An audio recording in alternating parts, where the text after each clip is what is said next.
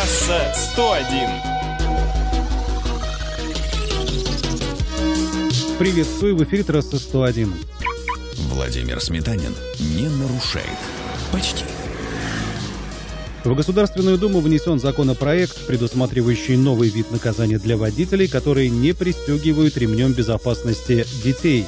Речь идет об эвакуации автомобиля на штрафстоянку или установке блокираторов колес.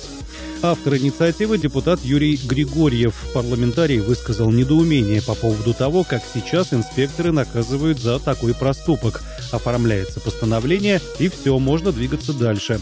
Получается, что нарушение не устранено. Вернут авто гражданину, когда это произойдет. Трасса 101. Красивые регистрационные знаки, тонировка, резкие маневры, явные признаки неисправности.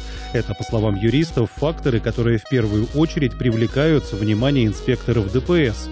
Если гражданин передвигается на старом, неухоженном, ржавом автомобиле, то тут тоже велика вероятность остановки.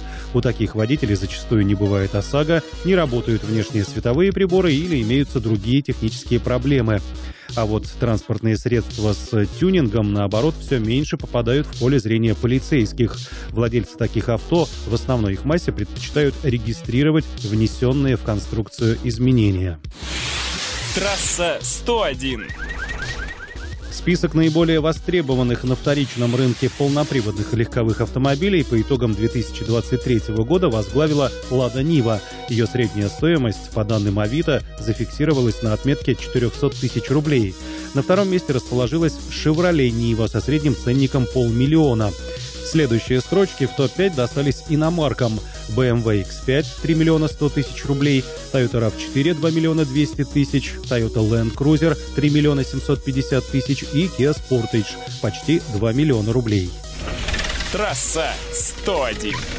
В белорусском городе Борисов собаки стали инициаторами ДТП. Однако псы не выбежали внезапно на дорогу, как это бывает, а погрызли провода у одной из находившихся на стоянке машин, вследствие чего она завелась, тронулась и врезалась в другой автомобиль. Все это запечатлела камера видеонаблюдения. К счастью, повреждения у легковушек оказались несущественными. Автовладельцы разошлись миром. На этом все. Подписывайтесь на наш телеграм-канал «Трасса 101». До свидания. Трасса 101.